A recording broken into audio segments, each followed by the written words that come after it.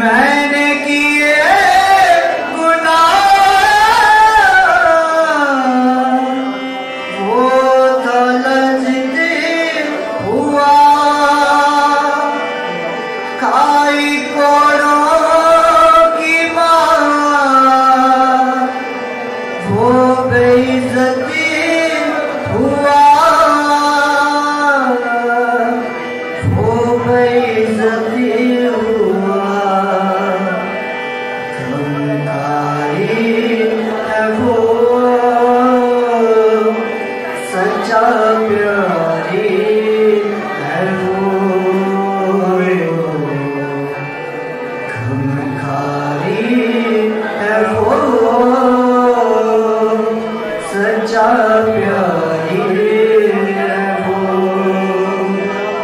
s a p ı r